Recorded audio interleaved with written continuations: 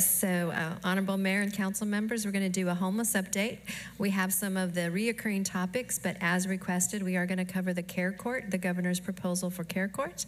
And tonight, this homeless update is going to be given by Ken Gominsky, who is our part-time homeless services manager, and he is really the one that is on the street level and is best adept at giving this presentation as well as answering any questions you may have. Ken Gominsky.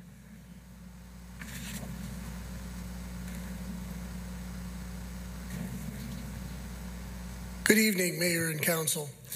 Uh, even when I'm not here, I sit at home and I watch the uh, council meeting just like everybody else. So I knew I'd be here to answer some questions that came up last time, and I'm looking forward to having that discussion.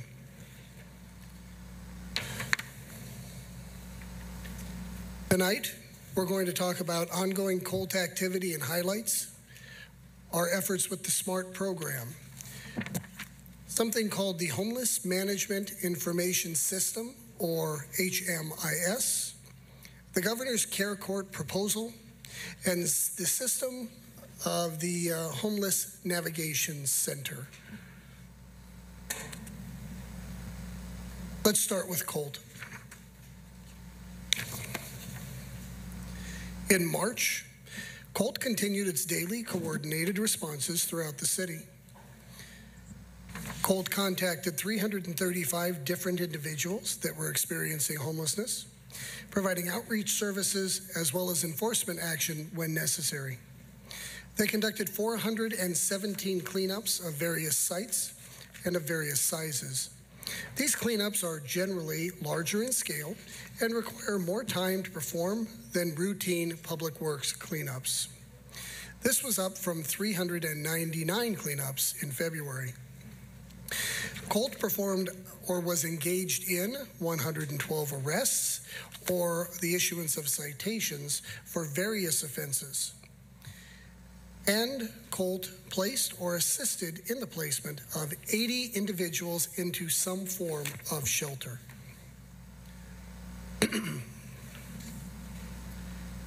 now, our update on SMART.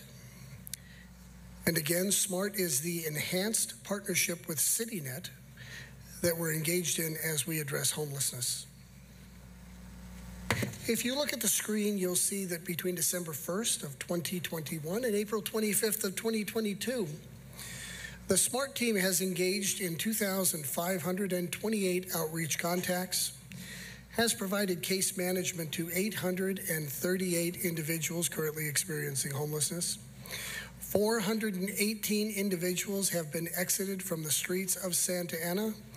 That's into shelter, into families, into permanent supportive housing, uh, any number of different uh, mechanisms to get people off of the streets. Uh, 508 total COVID 19 engagements. What I think is truly important is to look towards the bottom and see 3,666 calls dispatched. That's 2,311 that came in directly from our community. 519 calls that were came from the Santa Ana Police Department or the Orange County Fire Authority.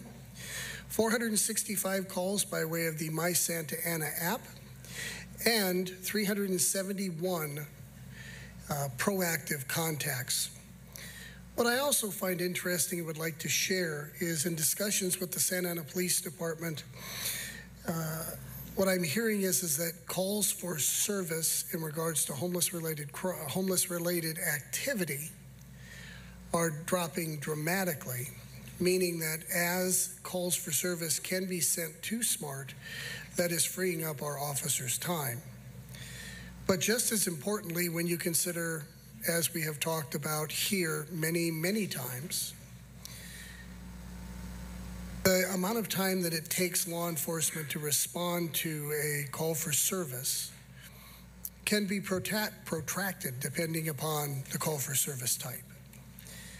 On average, SMART is reporting that they have a 24 minute response time. I do know, because I've talked to several of you about this, that response time is not 24 minutes across the board. However, on average, SMART is responding in about 24 minutes, which is a fairly, I think, impressive response rate, uh, considering how long we know that it takes our law enforcement to respond to some types of calls. SMART operates seven days a week from 8 a.m. to 9 p.m. And I would again like to bring to the attention of the community that the SMART phone number is 714 242 3706. Next, I'd like to discuss a highlight that I consider to be a true reflection of all of the different components of the Santa Ana homeless response to an incident of teamwork in the field.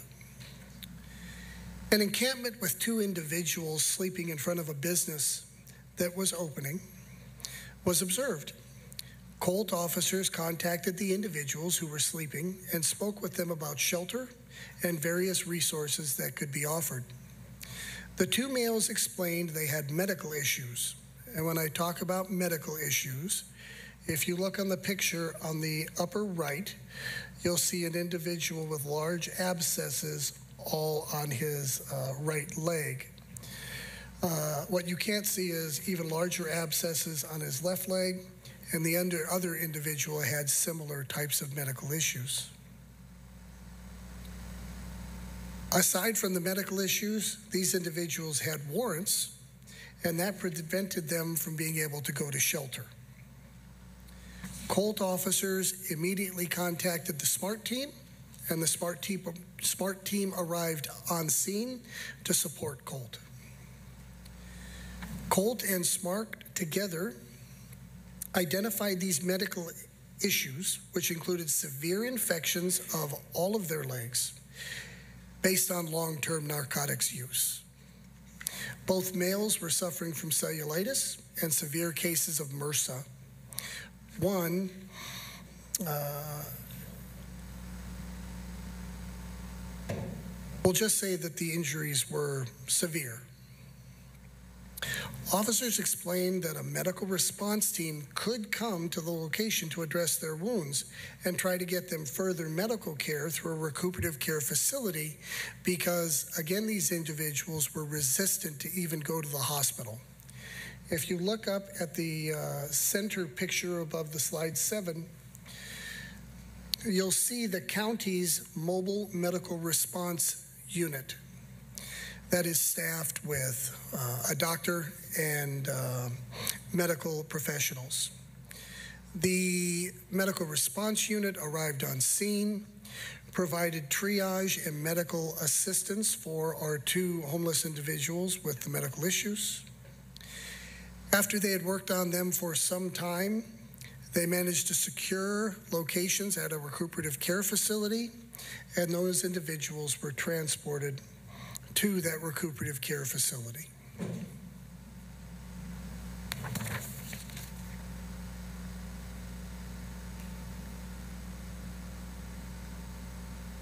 Next, we have the Homeless Management Information Center system.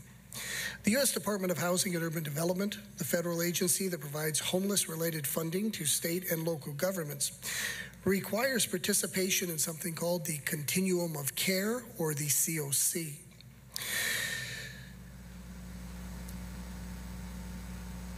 Involvement in the COC requires the use of a computerized data collection system, which the county has named HMIS.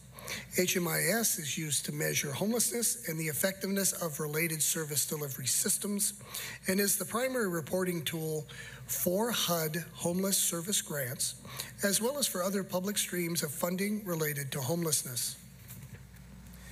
Uh, we had an opportunity to speak to one of the council members in regard to data collection as it pertains to homelessness. And this is an example of what HMIS information is available. 211 OC, designated by the Continuum of Care to operate HMIS and is the lead agency for the County of Orange. Based on all the information that they receive from all of the outreach and engagement that is provided by not only the county, but the nonprofits throughout the county, this data set is populated. Now, as it sits now, it's stagnant, but if you go to 211 and you click on any of the different items, such as 510 people in street outreach, it then changes all the data to reflect what disability information specifically ties to that street outreach. How many clients left domestic violence and are now on the street? This information is powerful as we look at what are the different needs our homeless population has.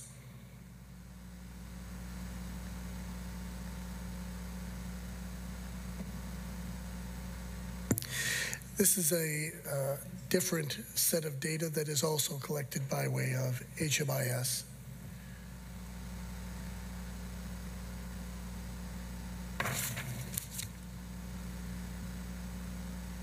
Next, Council requested further information on what's being referred to as the Community Assistance Recovery and Empowerment Court Proposal. As it is proposed, this is a framework to deliver court ordered mental health and substance abuse disorder services for individuals experiencing homelessness. Care Court is progressing through the state legislature as Senate Bill 1338, authored by Senators Tom Umberg and Susan Talamantes Eggman. I have been following this and found that there is quite a bit of discussions going on in regards to that.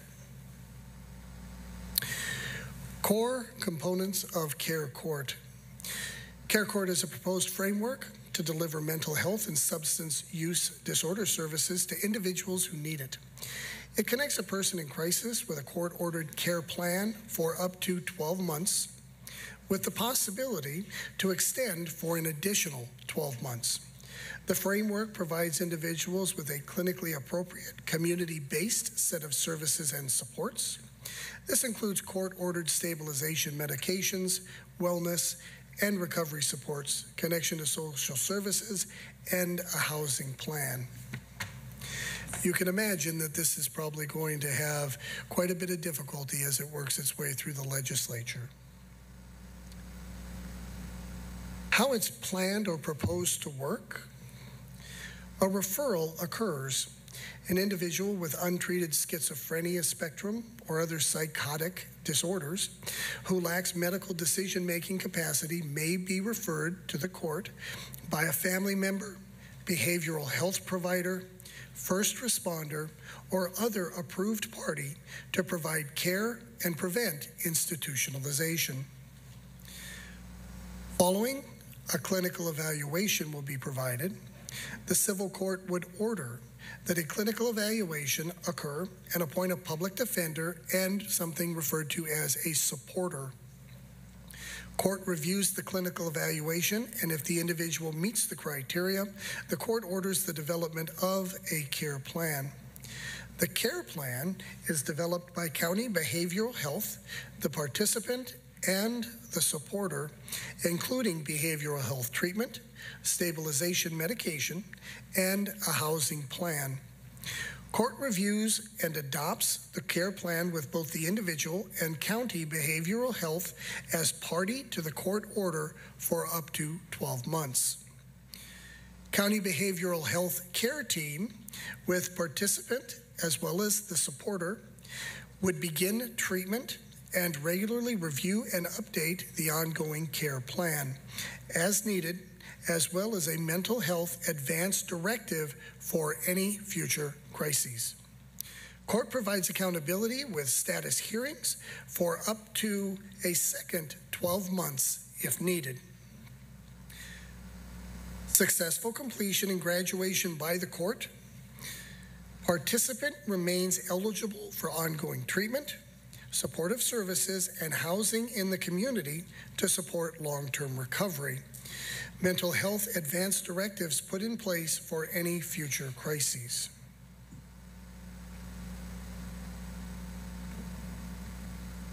Staff continues to monitor 1338 as it moves through the legislation.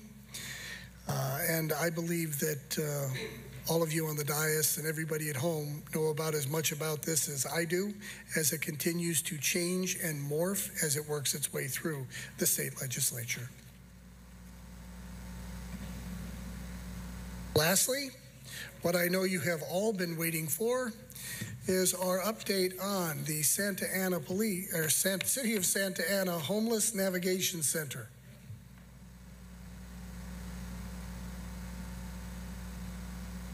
Yesterday, the temporary women's emergency shelter, which is housed within the Homeless Navigation Center, opened in the southeast corner of our site. The emergency shelter, ordered by U.S. District Court Judge David Carter, includes a woman's only residential area for a limited number of women, separate restrooms for shelter and staff, office spaces for staff, two exits that flow through a two hour rated fire corridor, and an exterior path of ingress and egress. This emergency shelter area is currently separated from the rest of the building through locked access doors and temporary solid barricades. As the construction continues, more dorms and staff rooms will become accessible. Of key importance, four women asleep on the streets of Santa Ana on Sunday night took the courageous step to accept shelter Monday afternoon. In speaking to these women, I knew two of the four. The key difference in accepting shelter yesterday versus the many times before was the shelter was in Santa Ana, close to their doctors, close to the social service appointments they had. They needed and wanted to stay in Santa Ana, which is their home. Each one of this, these women is already working with CityNet and the Illumination Foundation to secure permanent supportive housing. But while they wait to become document ready and secure that permanent supportive housing, they will finally be safe inside of our shelter. The photos shown on your screen provide a snapshot of the progress at this site. Last week, the asphalt was replaced and parking striping occurred over the weekend. And every day is another new challenge. The second floor continues to move forward with completion of restrooms and the installation of carpet. I saw pictures, the carpet is in. The ability to open the remainder of the shelter is directly tied to completion of the second floor based on the fire alarm and the Illumination Foundation staff needs as they move forward in providing the wraparound services for the homeless population that we will be paying for. Here it comes. Although a completion date remains difficult to specifically identify, it will be arriving very soon. I know that each and every one of you on the dais, as well as everyone I work with and deal with within City Hall, asks on a daily basis when will the shelter be done? It remains a moving target. We have had promises and promises and promises, and then it's something new. And then it's something else that's new.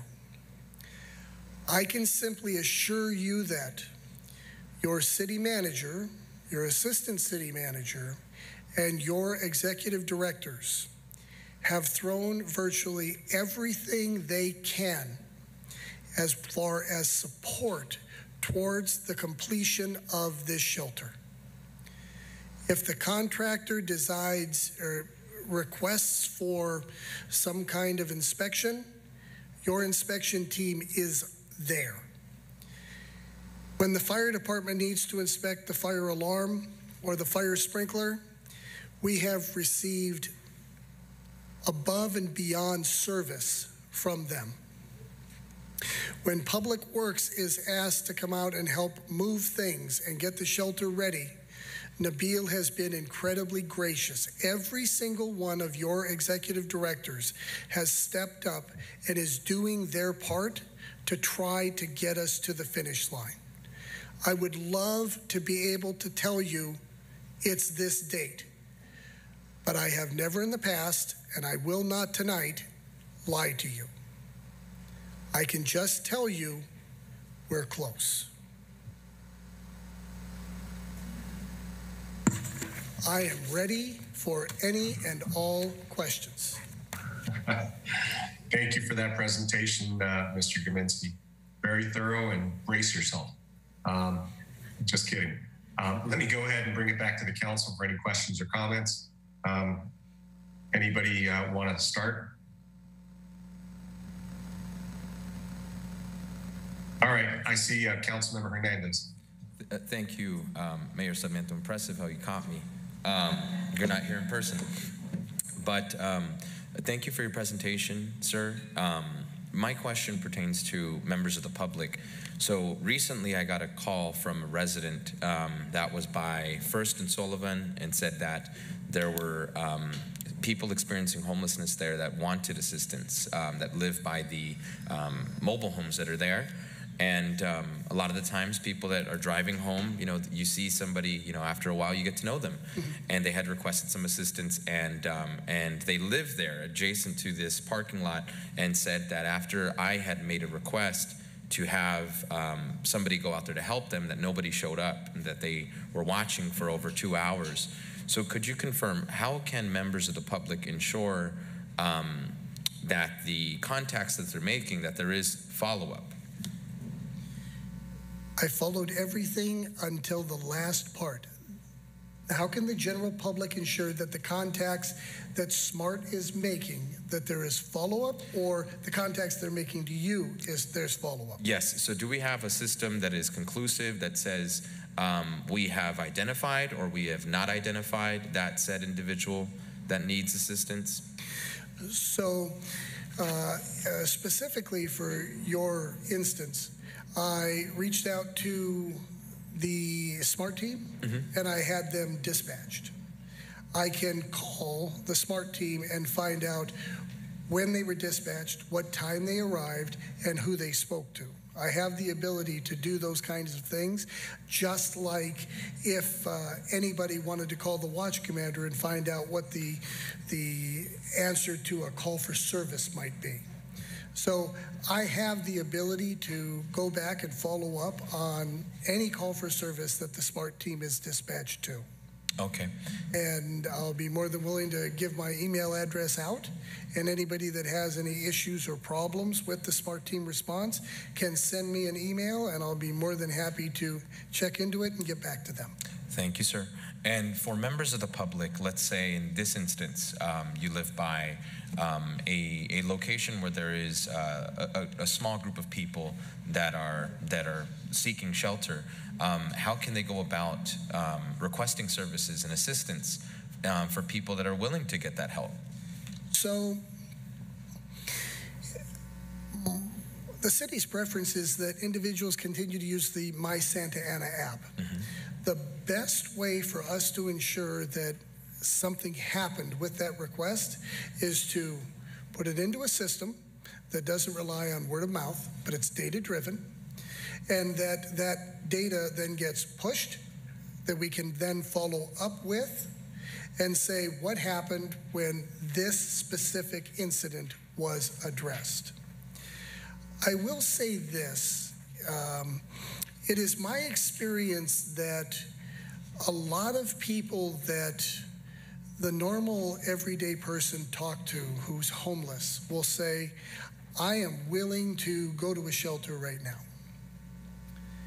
And when the Colt team or the SMART team show up and say, okay, we're ready to go, there's hesitancy.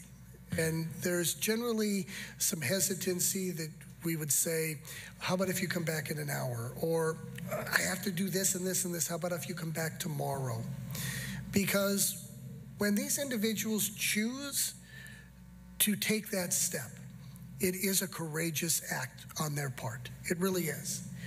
And so, just because they tell somebody who wants to help them, who's not part of the system, uh, that "I- I'm willing to go, I'm willing to go, if they're willing to go, we have places for them. We do. Uh, they may not like some of the rules or some of the regulations. Uh, we don't have as many couples beds as we should. And some people are unwilling to be separated from their partners even for short times. So when we're talking about sheltering individuals, it is a com- incredibly complex thing. And we just have to continually remind ourselves that when these people do decide to go, we have to have a place for them that will work with their needs. Thank you, sir. And my last question is how many follow ups happen before a person does commit to saying, I'm ready to go, um, get that help? So I have a lot of experience in talking to people, but I think maybe it takes more time. If a cop goes up to you a hundred times, maybe you're less, maybe a little more resistant. But I can tell you that on average, in talking to CityNet, it might take a minimum of 20 contacts. That a, sounds right. minimum, a minimum of 20 contacts to develop a, a rapport. It was funny. I was at the shelter this morning when uh, another lady was transported and dropped off. Uh, she's been living at the corner of uh, Third and Baker, I believe it was, for some time. And they had tried and tried and tried. CityNet said that they'd probably gone up to her and talked to her for 30 times. However, today they said, How about if we just take you over to this shelter and you can take a look and see if you want to stay? And she got there, she got all excited. She had her cigarette, walked over and gave me a hug. It was a good day. And decided she was going to stay and try to make it work. Um, it's a big step for her. Big step for her. But Santa Ana had a place for her. It was a good day. Thank you, sir. That concludes my question. Thank you, sir.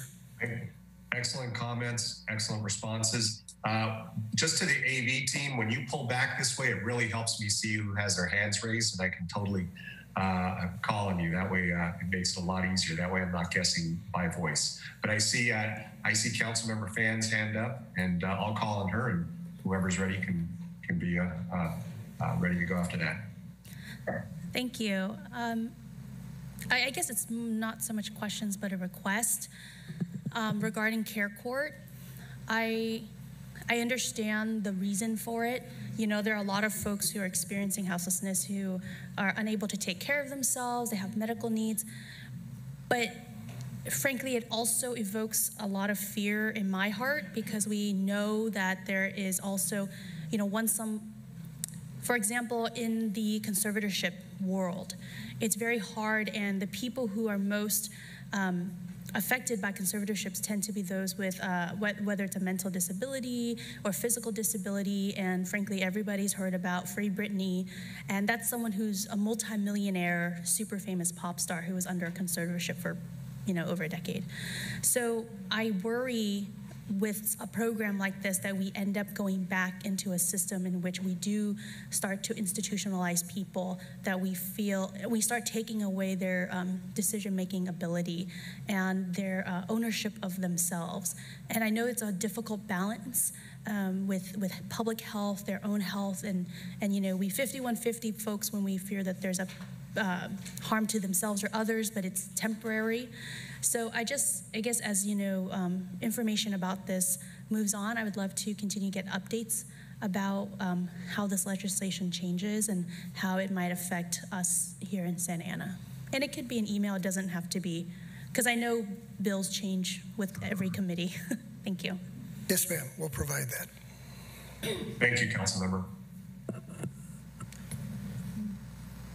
Uh, Councilmember Lopez.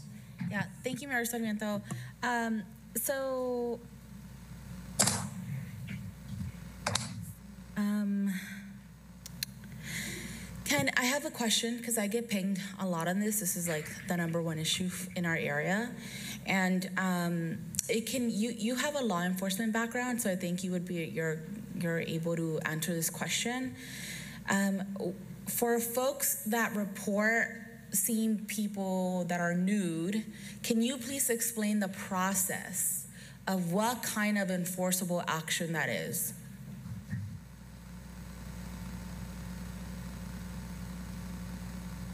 So the city of Santa Ana has a municipal code against public nudity, nudi, nudiness, public nudity, nudity, not nudiness. Uh, so there's a municipal code for that. Uh, there are also California Penal Code laws that apply to um, people being in various forms of undress. Uh, but in order for those laws to kick in, generally they have to be doing something for some type of sexual gratification. With But- that being said, our public nudity SA Santa Ana Municipal Code um, talks about um, areolas being exposed, genitalia being exposed, the buttocks below the cleft, I believe. So if a Santa Ana resident sees that, Uh-huh. what is the process for them? What what should they do, and what should they expect out of our police department? So misdemeanors not committed in a police officer's presence cannot be enforced. So there's a difference between the felony and a misdemeanor. Felonies, much more serious crimes.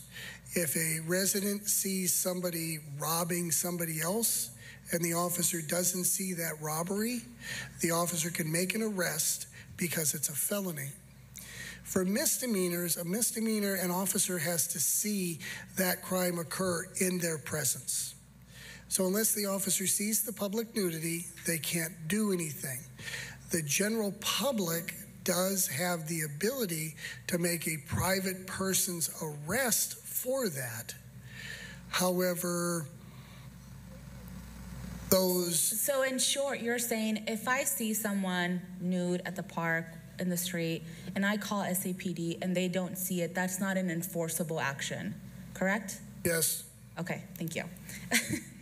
I'm just trying to Your explain yes. it. No, I know, I know. And I just want to, I want the, I want people to understand that because that's one of the top Okay. concerns that I often get questions about. And I will tell them that and they'll be like, you're lying to me.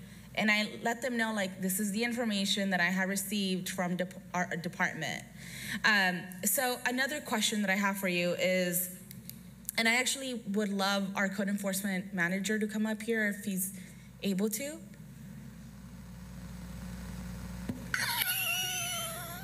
Thank you.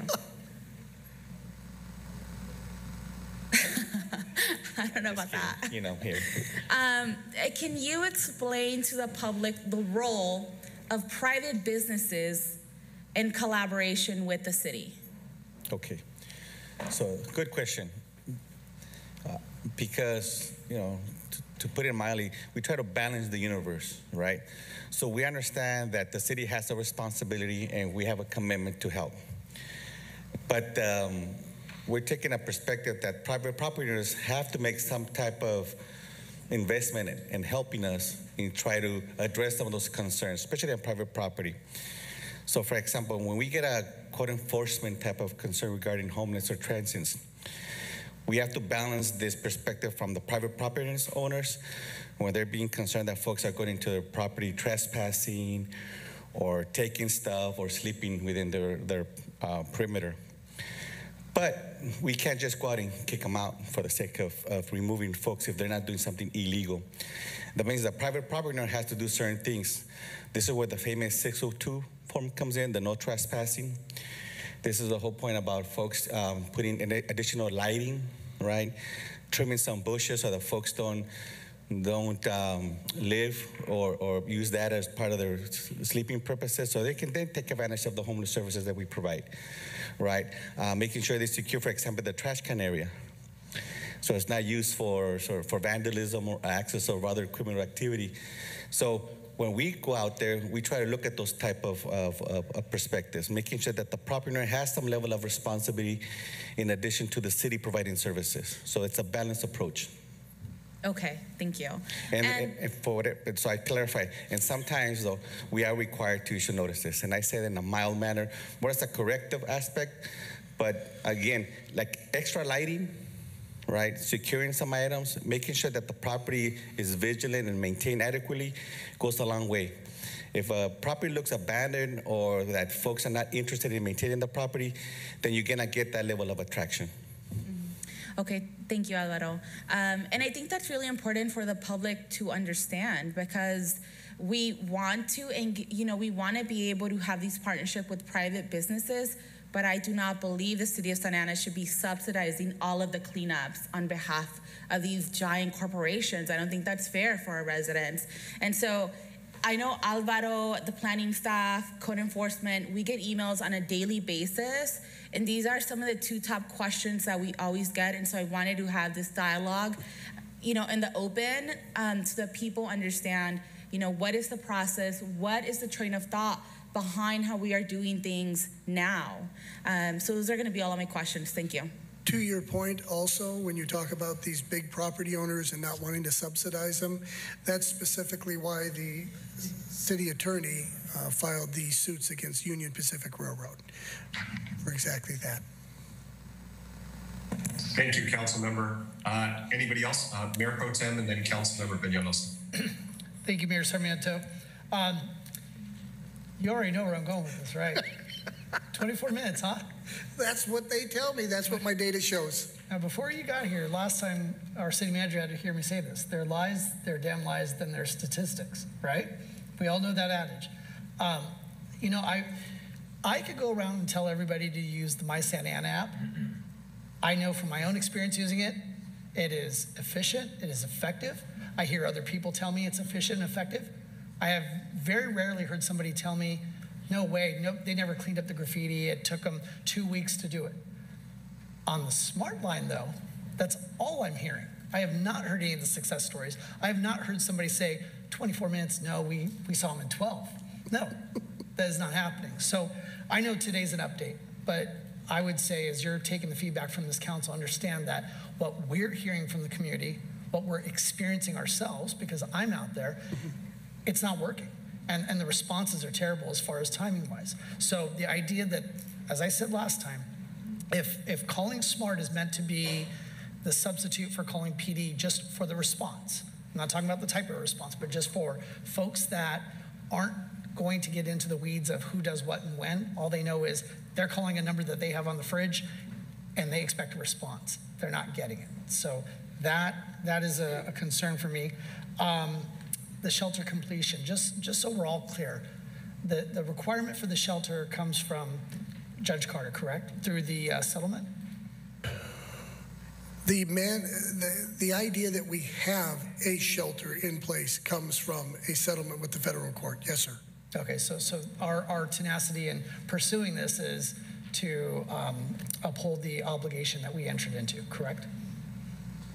As well as the city's commitment to deal and do our fair share for the homeless. Correct. But I, I'm saying is that, I mean, for, for all, because most of the time, our shelters, even prior to um, not having Red Hill and Dyer, we were not seeing 100% occupancy in those shelters, correct? No, it was about 75%. Okay, okay.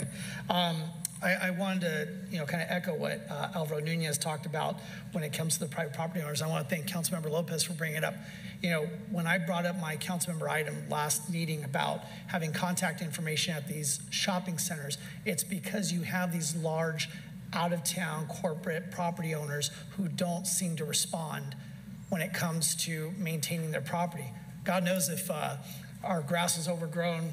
I know I'd see Alvaro and his team, but the, the thing that's so frustrating because it's one thing if it's a smaller site, but especially for Ward 4 down in South Bristol, we're seeing so much activity.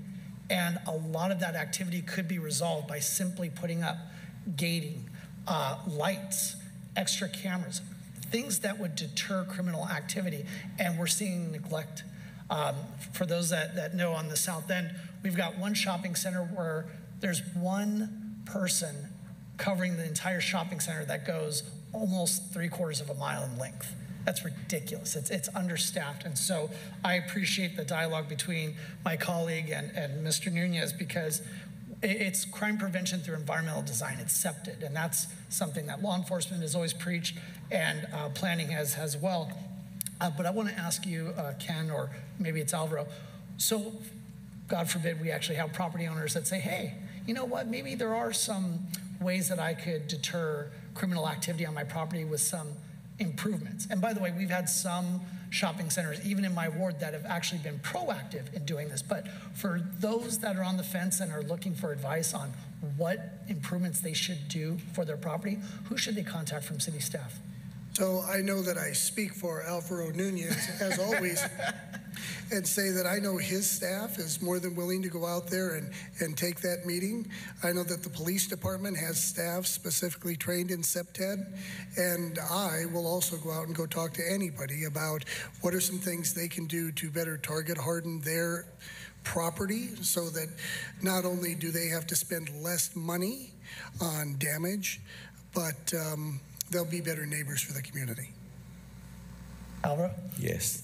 Uh, so that, that is the key. So the idea is to make sure that um, when we offer advice, we don't make it worse. So, and I'll give you good examples. There's this property and that really stands out. Then people surprised, hey, how come we don't put gates in the little soffit areas, right? Why don't we just make sure that it's guarded so people um, don't sleep when, when the business is closed? But there are also other requirements, right? Building code requires, uh, fire code requirements. So we have to be sure when we make recommendations to address one issue, we don't complicate it and then endanger those um, folks, you know, using that business. But that being the case, like we did with South Bristol, um, some of them didn't respond to the original emails, requests for meetings. So we're calling them out and we're saying, hey, can you do Tuesday at 9 or can you do Tuesday at 10? Right? So the idea is now we have to be proactive. We have to be very diligent. That this takes a little bit of planning and time, but it is, you know, uh, us and code enforcement going out, and we're also going with the, um, like uh, Ken said, uh, PD there because we have uh, folks that deal with the public uh, safety issues, and we make those type of recommendations. We're going out to the whole property. Says, okay, what can you do? Uh, trim the bushes, like we said. Put some extra lighting. Uh, make sure that there's a lock on that um, water faucet, right? If that electrical goblet does not being used, take it out. Things that don't make it an attraction, so it doesn't become a problem. If, if we require them to make install some level of gates, as long as they're open during off, uh, office hours, then that's okay. If it's vacated, we make sure that if there's things that are locked, there's folks not being locked inside the building in case of an emergency.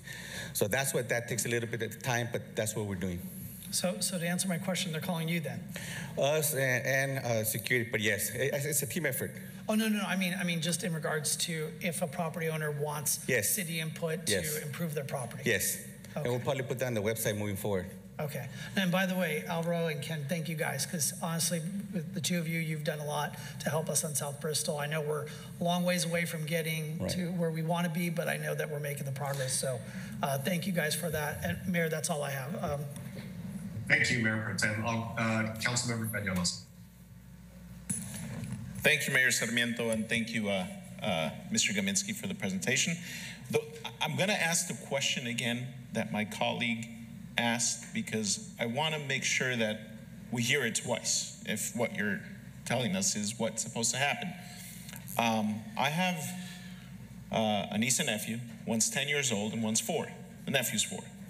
Occasionally, they trick me into taking them shopping to Target, mostly to get LOL dolls and all this other stuff. So we're walking out of Target, and we come across, it's happened already, where we come across a naked man, just acting all over the place in the parking lot on Bristol and Alton, usually around the railroad tracks, but bouncing back and forth crossing the street. Can I call 911 because there is a man exposing himself to my four year old nephew and 10 year old niece. I can tell you that you can call 911 anytime you believe that there's an emergency. Whether 911 will take the phone call or tell you to call the regular phone number, that's up to 911. But- But to your point, mm-hmm.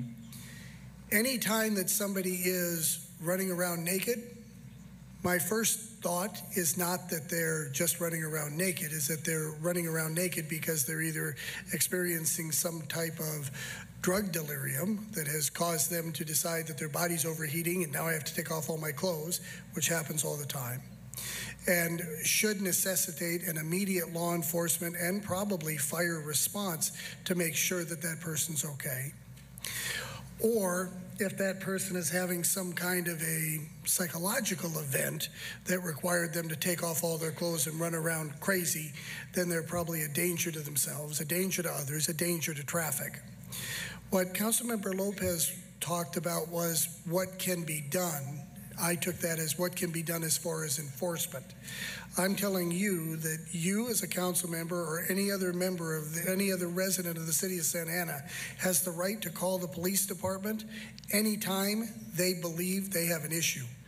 But more importantly than that, the what you're talking about about people running around naked should, in my belief, necessitate some type of uh, public safety response. Okay. Now, if the person were to just be standing there naked um, near the parking lot, exposing themselves to minors, my four year old nephew and 10 year old niece, would that be considered indecent exposure to a minor, therefore necessitating some kind of either obviously paramedics to get them help? Because no one just hangs out naked outside a shopping center, or um, law enforcement to make sure they're they're or help them cover up. Because I'm not going to do that if I'm with my four-year-old nephew and ten-year-old niece, which because they're watching that too. Are they not victims of indecent exposure? And I, I'm trying to understand if that because is that would be a, a misdemeanor? Yes, but that doesn't cover indecent exposure. Um, that would be the SAMC violation, what you're discussing.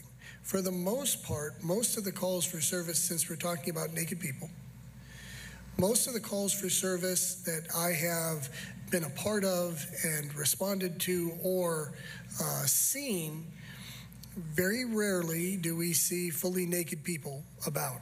Most of the uh, the calls for service in regards to some type of nakedness are people urinating in public, and people called about that being an indecent exposure, or people defecating in public, which happens, uh, as well as people that walk down the street with their uh, pants around their knees and they just keep walking. Any of those responses, any of those issues should necessitate some type of law enforcement or OCFA response to make sure that person is okay. I believe.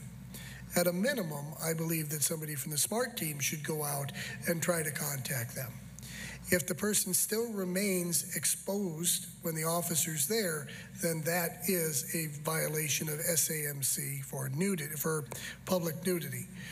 If a person wishes to engage in a private person's arrest when the officer wasn't there, that's another step that can be taken. Okay. So I guess I'm I'm just trying to understand because like my colleague, I oftentimes get, you know, get tagged. We all get tagged on these these uh, videos on social media and get sent these videos via text or email of just nudity, and and uh, it, it's troubling that our families have to deal with this and live with it. So that they would they be able to call 911 at first?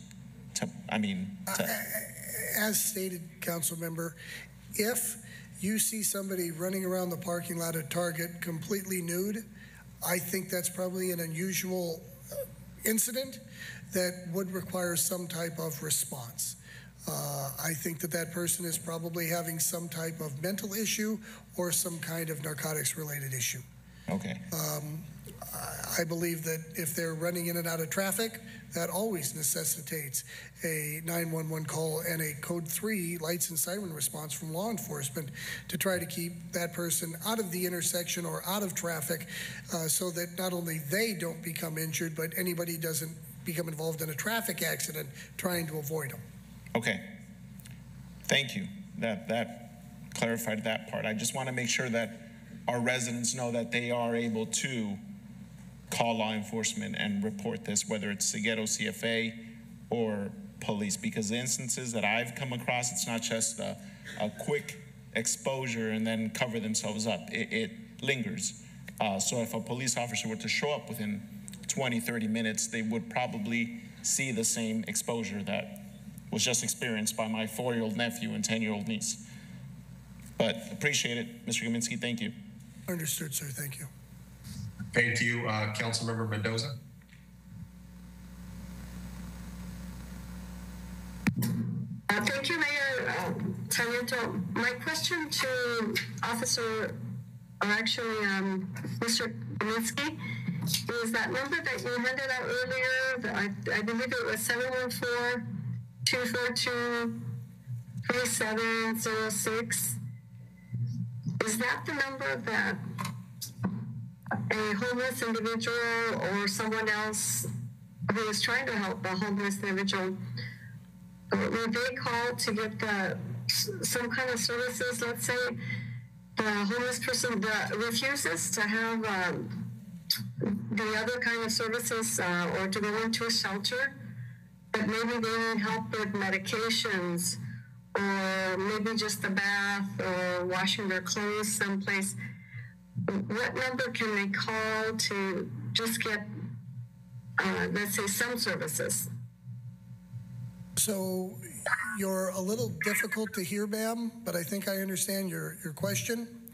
With that being said, the SMART team that can again be reached at 714 242 3706, they can offer assistance not just for shelter opportunities, but they can connect homeless individuals with all kinds of different nonprofit service providers based on whatever needs that individual has. If a person is trying to help someone else get out of homelessness, then you can call that number to get information uh, in regards to helping. Thank you. I appreciate that. That was my question. And I would also like to uh, personally thank you for the clearing up the homeless issue that occurred on Sunday over on Sullivan and McFadden. It was clean and um, really nicely done by the time I got back. So I was concerned for um, for the pedestrians that were in the area. So thank you very much for clearing that up so quickly. Yes, ma'am. Thank you. Thank you, council member.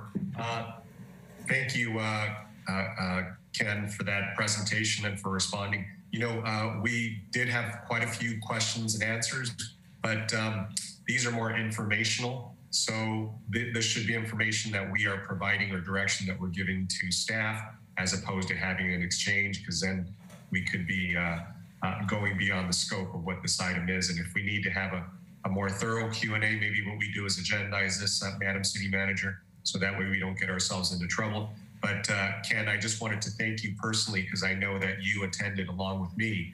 Um, uh, uh, Supervisor Foley, who represents District 2 at the County Board of Supervisors, I think last week or the week before. Um, the only hearing I've ever been invited to by the uh, by a supervisor that represents this district. So in the 15 years I've been here, that was the one and only time that I've ever been invited to to that chamber to discuss uh, the, the, the issue and the crisis of homelessness. And so, uh, Ken, you did a great job. And just so all of you know, the whole point of that discussion was to uh, call mayors from different cities throughout the county uh, and try to figure out how much we've all spent and aggregate that together on trying to address the uh, the issue of the impact of homelessness on on our communities. And uh, really, uh, the supervisor's purpose and point was to demonstrate that these are monies that should have rightfully been spent by the county towards these efforts and towards these services. So, Ken, you did a, a, a great job. Uh, to uh, to other people's points about the response time when it comes to uh, CityNet, what you know, what I'd like to do is, um, you know, I know 24 minutes is is is probably not something that we all uh, probably find a lot of um, uh, satisfaction in because I know, you know, I've had some residents call, I've had to call myself, uh, and it's been more extended. We know that sometimes these encounters, uh, because we're dealing with humans and, and not just simply painting over a wall, uh, you know, you can get through that really quickly. But when you're dealing with a person going through crisis, going through um, an episode, it does take time. You don't just go in and out. So what I'd like you to do is, um, and take this just more as a comment, let us know how, you know, what support you need um, to maybe improve that response time. Uh, I am heartened to hear that um, that you know our our our officers are being relieved uh, of having to deal with some of these responses, so they can do more uh, you know police core functions and respond to those. So that's all I will say on that. With respect to care court, I completely agree with uh, Councilmember Phan's point about uh, just this really delicate balance of, you know, uh, being too invasive when it comes to violating a person's um, own civil liberties and rights. And uh, she's right. There was a time that, um, you know, most folks were institutionalized and kept in congregate care and were basically just uh, held uh, involuntarily. Uh, the problem is, is that now we um, have swung sort of the other way and we uh, are dealing with um, people who don't uh, have the ability to make informed consent as to uh, whether or not they want to be on their own or whether or not they want to be services. So right now, the big city mayors are struggling with this whole issue of care courts, and I think uh, all of us, uh, to a to a to a person of the big 13 mayors, have supported the care courts in concept. There's still some details that are being um, uh, dealt with uh, through the legislative process. I believe it just made it out of the uh, legislative uh, Senate Legislative Committee. Uh, so uh, it will be very difficult because for me, you know, I am very concerned about violating a person's own personal, in, in independent and autonomous rights. But at the same time, you have those have to be balanced against the rights of those families that live in our in our community in our city that are low income people of color.